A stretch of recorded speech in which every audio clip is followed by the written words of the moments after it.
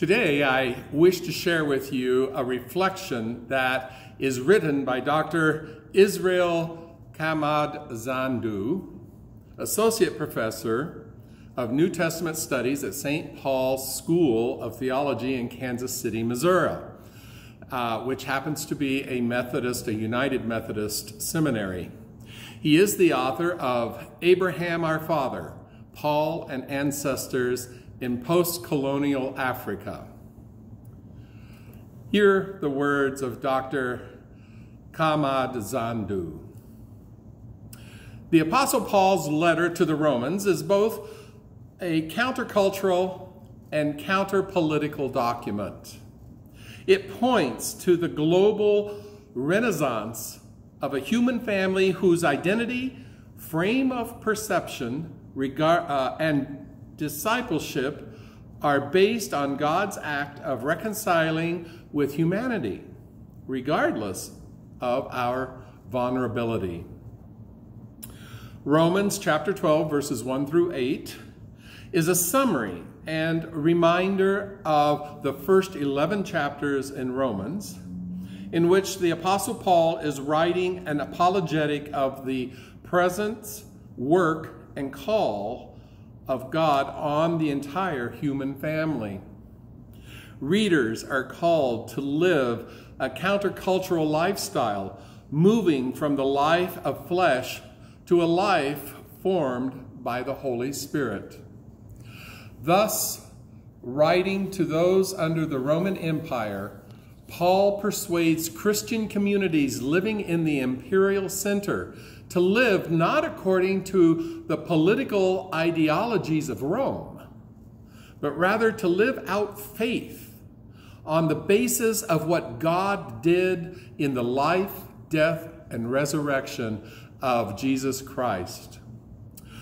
While some scholars think Romans is a doctrinal letter, I think of Romans as a call to abandon the sin of individualism and to embrace the uh, cross-cultural Christian life, the life to which Paul calls Christians in Rome, and consequently those in the 21st century, is a life that exhibits the essence of God, Jesus Christ, and the Holy Spirit.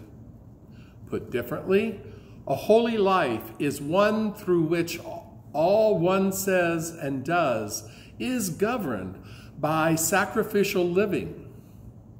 To worship the God proclaimed in this letter and throughout Scripture is to adopt a stance of humility and self-denial. In the Scriptures, readers see God's attention to humility through whom God calls. For some, humility is a birthright. For others, humility is a learned disposition.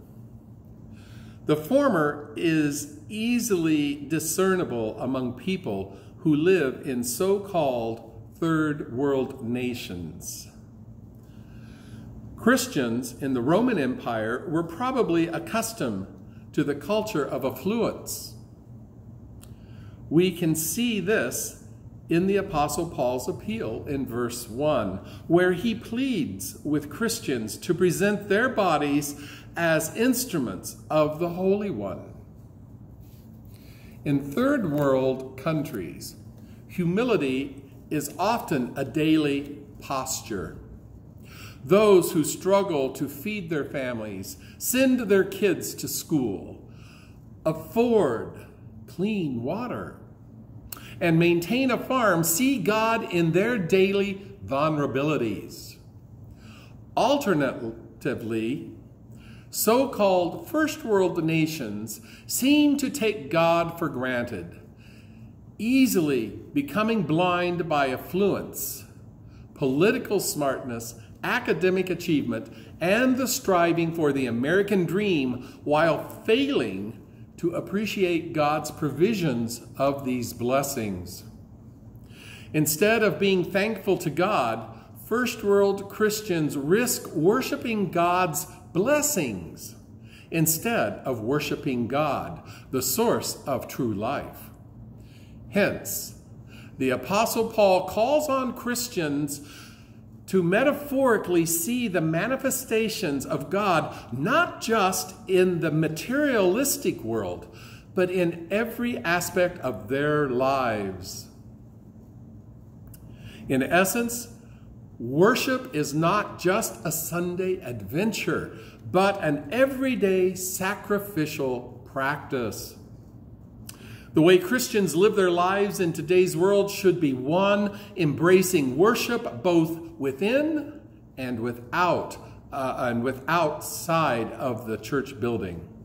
In Romans 12 chapter uh, in Romans 12 verse 1, the apostle Paul seems to raise the following question: Where is God in your living? Where is God in your living? In this regard, Paul's appeal and persuasion points Christian practitioners to what can be called testimonial living.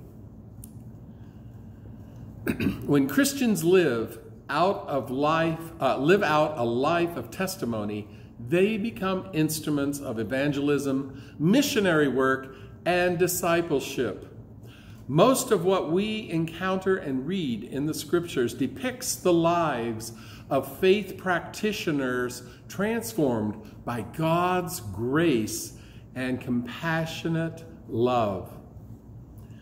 Distinct from sermon, testimonies function as vehicles by which others hear and perceive God's work in the lives of people.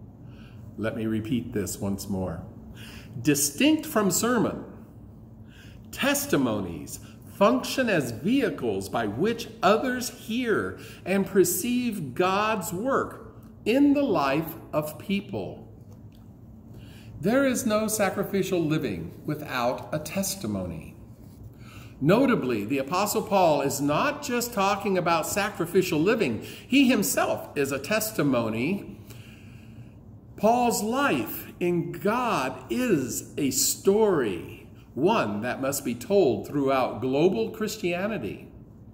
We also see models of the sacrificial and testimonial life uh, in the lives of the apostles, such as Mary Magdalene, who offered her life as a living sacrifice. She declares, I have seen the Lord. He is risen. Testimonial experiences lead one on a journey from conformity to transformity, to transformation of one's living through the mind, heart, and soul. Paul is a paradigm of such transformation. As his life was powerfully and dramatically transformed by his encounter with Jesus Christ on the road to Damascus. Like Paul's life, our lives will indeed become aligned with the gospel of Jesus Christ if transformed by our encounter with Jesus on our own Damascus roads. Instead of conforming to the ideas of the world, one will take a 180 degree turn toward a life of service and humility in and outside of a Sunday morning worship. With humility comes a loss of pride, arrogance, and ego. These three are cancerous to a church as they give birth to superiority and inferiority complexes. Caught between affluence and Christianity, humanity consciously and unconsciously sides into the dark world of wretchedness, injustice, and dehumanization of others. Instead of obscuring God in those whom one dehumanizes, transformation will illuminate God's presence in all human beings. This metamorphosized life, heart, soul, and mind, leads to the renewal of consciousness and allows one to be an instrument of God. God made humans to be partners in transforming the world. From the beginning, God invites humanity into transformative relationship.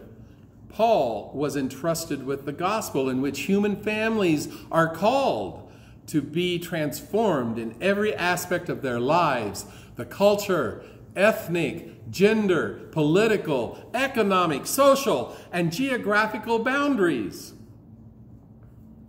This transformation comes to us through grace as we are saved through our belief in God and in the resurrection of Jesus Christ. The power of the gospel to equalize humanity before God becomes the impetus through which we become part of the body of Christ, a term Paul uses to describe the church and its members.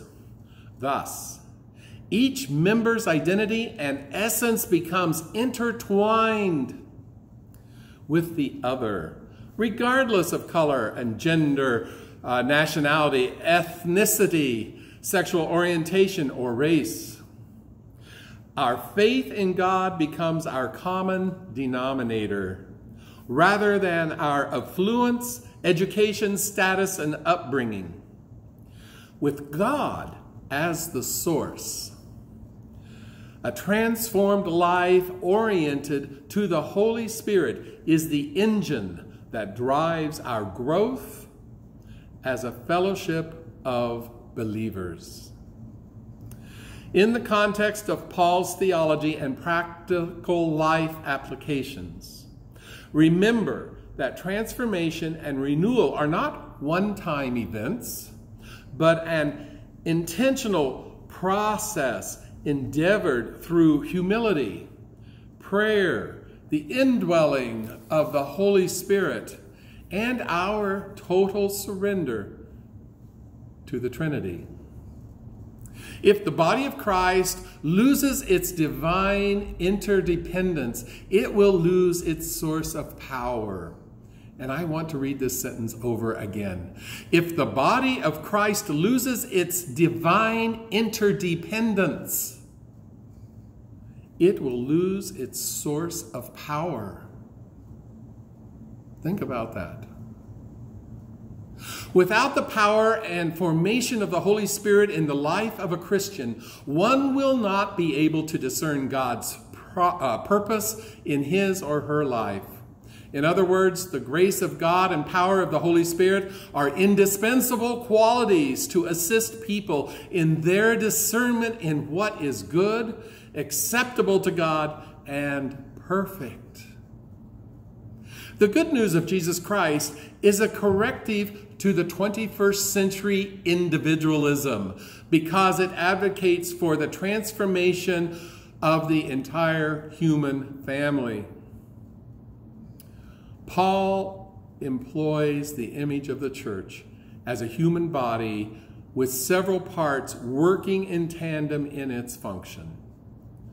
We are called to a life that appreciates the diversity of gifts and talents through which the body of Christ can function as God intends. This body functions from a posture of humility when each part is invited to contribute. Used in the service of building the church, each part will be enriched, appreciated, and honored in his or her magnifying of God. Indeed, one's gifts find meaning in the giftedness of others who seek to build the kingdom of God in today's world. Amen. Thank you, Dr. Kamandazonda for your kind words.